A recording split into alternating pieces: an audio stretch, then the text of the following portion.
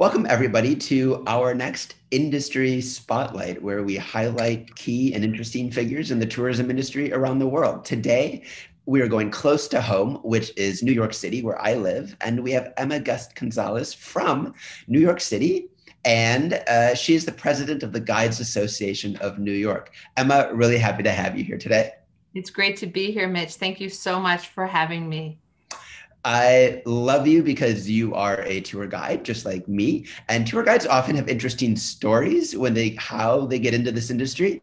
Can you tell us a little bit about your past and how you got into guiding?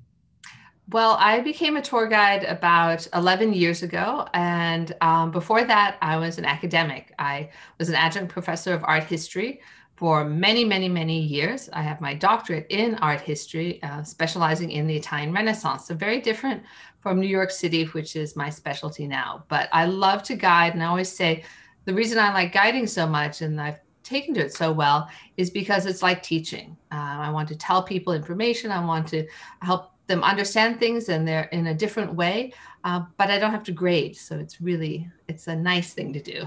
Okay because the grading and the the academic bureaucracy can get a, a little disheartening and guiding always keeps me on my toes.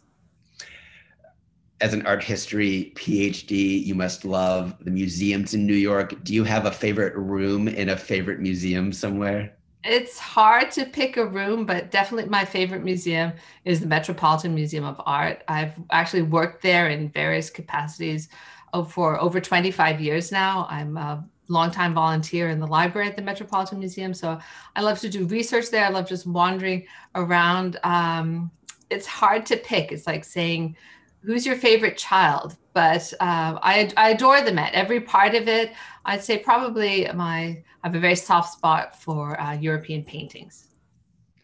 Amazing. So, not only are you an art historian and a guide, but you are also guiding royalty in New York because you are the current president of the Guides Association of New York.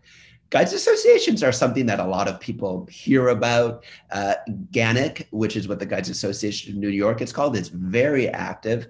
Could you tell us a little bit about GANYC and about the Guides Association of New York? Okay, so GANYC, the, the Guides Association of New York City, is one of the oldest um, and one of the largest guides associations in the United States. Uh, it was founded in 1974, originally actually as an association of multilingual guides, and then it expanded to be uh, the Guides Association for um, New York City guides. Um, even though we have guides from all over the place who have their license in New York City to guide in New York City. And what we do is we provide a lot of support and a lot of networking for our guides. Our website has a jobs board, so guides can look for work there. Um, guides are able to post their profiles so people can find them. We get contacted uh, through the GANYC website. Um, and most of all, especially in these days, we're providing a lot of support, a lot of information for our guides about what's happening on a city level, on a state level, on a national level, in terms of tourism and in terms of touring. So, guides associations can be found in all, most of the major cities around the United States and indeed around the world. In fact, GANYC is part of the National Federation for Tourist Guides Associations called NFTGA and the World Federation of Tourist Guides Associations, which is the WFTGA. So lots of lots of letters, and they all um, we come together to help each other. So to make sure our guides have the latest information, to make sure our guides are prepared. Uh, GANYC does a lot of work uh, with certification. We have a wonderful certification program that's an optional thing for guides to do. Um, that's a great paid course that that guides take. It's a skills building course. But one of the best things about GANYC are our fabulous FAM tours, a familiarization tour. And so our FAM tours are a great way for guides to guide other guides. And so that means as a guide giving a FAM, it's a perfect way to test a new tour to get a lot of feedback, and guides will give lots and lots of feedback. But also, it's a great way to share the material we know.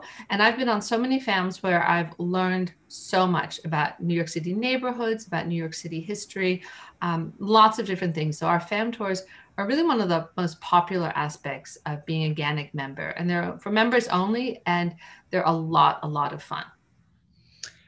I love it. You hit on some of TripSchool's core values of lifelong learning. Guides should not stop learning and also community. You learn together, you come together, you share your skills.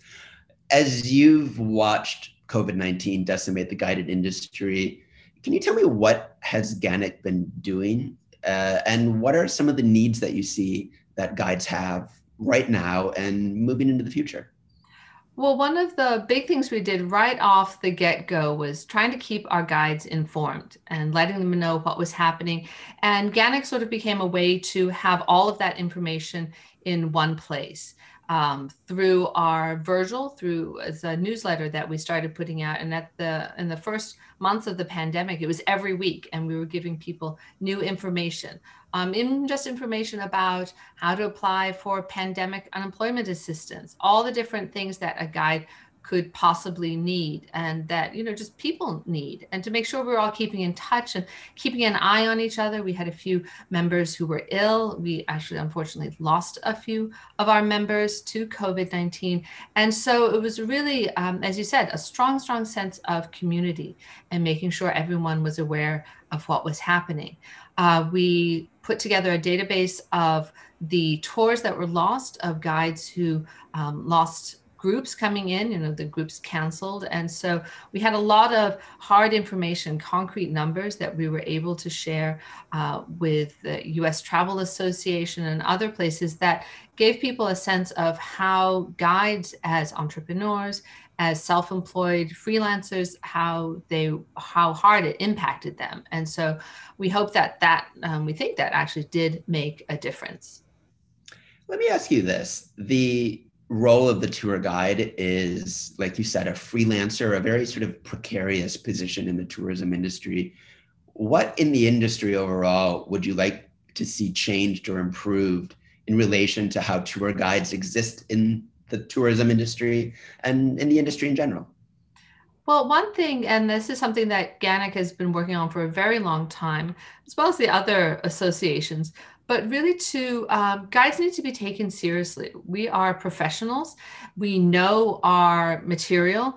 Uh, i had one person say to me once well anybody can be a tour guide you know they people who just like facts and information. Uh, but that's not it. You can't just give anybody who's um, you know say a history buff or an art buff or an architecture buff uh, microphone and say guide a group. Because there's so many other skills and I think something that is really important that people need to be aware of is that tour guides are professionals. Um, I happen to work at an attraction. I work at the One World Observatory. I'm one of the guides there. And so people, they'll meet me and they'll speak to me and they say, Oh, well, I didn't know this was actually a job. How did you train for this? How did you learn this? As you said, it's lifelong learning. It's constant, constantly updating our information and knowing uh, the, the most information we can to give our guests and to give our visitors, uh, but in a professional way and not just to be blurting out you know facts and figures. We need to tell stories. We are storytellers. We need to make a compelling story. And so we can have a real impact on people's uh, perception of a location their understanding of the history of a place. And so i think guides should be taken very seriously by the travel industry. We're often sort of the you know the low person on the totem pole and uh, the last minute thought you know oh well here's your guide here's your group go for it they're entrusting us with a lot of people and they're entrusting us with a big part of their vacation. Um, sometimes we're the only person that a visitor will have contact with from a specific locale. And so we are ambassadors for those locales and we need to make sure that um, we put our best feet forward and that we give the best information in the very best way. One last question. Uh, we have a lot of people that are guides that are part of our community, but also a lot of tour operators, very large and very small. On that operator side, what are some of the things you would like to see as what a model tour operator would do in relation to their guides, how they could support them, and what that uh, what that relationship looks like at its best? Well, at its best, I think it's um, uh, it should be a close and friendly relationship of um, collaboration. Uh, one thing that drives guides crazy is when a tour operator will just give you an itinerary and you look at it and you're thinking, what how am i supposed to do all this in one day or in three hours? You know ask the guides for advice ask guides for feedback. Don't just give them stuff to do and say go out and do it and you have to do it this way. Um, the good guides know what they're doing and good guides can be trusted to do what's right. You give them you know an outline. Give them the points that need to be hit. Maybe give them you know a list of of locations or landmarks that you want to be covered in your tour but trust your guides. And then get feedback from your guides. You know make sure that um, they feel happy and they feel encouraged by um, with with support from from the back end. You know that they know that somebody in the office has their backs and somebody in the office is there in case they need anything while they're out um, on the field uh, in the field shall we say. And you know make sure your contracts take into account you know guides and the support they need whether it's um, cancellations whether it's um, just giving them the opportunities to have a little more control i think sometimes guides feel a little out of control with the tour operators who may be like oh you have to do this this and this we understand that an operator is selling a specific product and we want to give the best product that we can but also um, i think tour operators when they have a good guide and have experienced guides, they can um, trust us. They should be able to trust us. I love that. One last quick question. New York is a very, very big place. Is there a neighborhood that's a little off the beaten path for tourists that you love to show or love to go yourself? Well, that's a hard question because we're all like, I know, I Don't know. Don't tell them about it. Don't tell them about it. Just be be generic. Just say Brooklyn. Yeah yeah, yeah, seriously. One of the five boroughs. Now, um, well, I mean, full disclosure, I actually live in New Jersey now, but all my work is in New York City. And when I lived in Manhattan, I lived in northern Manhattan up in Washington Heights. I lived above 181st Street. My stomping ground was um, Fort Tryon Park. My very first guiding job was going up to the cloisters, and it's such a jewel and sometimes people unless they're in you know northern manhattan sometimes they're like oh yeah i'm not going to schlep all the way up there it's worth the schlep. It's really, it's really fantastic. And um, yeah, I would say I, I like nature. I like outdoors, and to remind people that New York City has a lot, a lot, a lot of green space, and you can always find somewhere to commune with nature, and and that's a fun thing to do while you're in in the city. You mean there's another park besides Central Park? There is. There are lots of other parks. There are lots and lots of parks. Ladies and gentlemen, you heard it from us first. The president of GANYC lives in New Jersey. Uh oh. and that's fine. And that's amazing. And Emma, you're amazing. Thank you so much for sharing a little uh, piece of your wisdom. And thanks for everything you're doing for the guiding community. It's my pleasure. It really is. It's something I really take very seriously. I take to heart. I, I want to help guides, and um, I hope I'm doing a good job. And I love what TripSchool does. You guys are great. So this was a real honor and a privilege to speak to you, Mitch. So thank you very much. And TripSchool is a proud and uh, loving partner of GANYC as well. Yes, they uh, are. Yes, you are one of our industry partners, and we are very, very happy to have you. So thank you, Mitch and Alan. Thank you very much. Thank you. Thank you, Emma.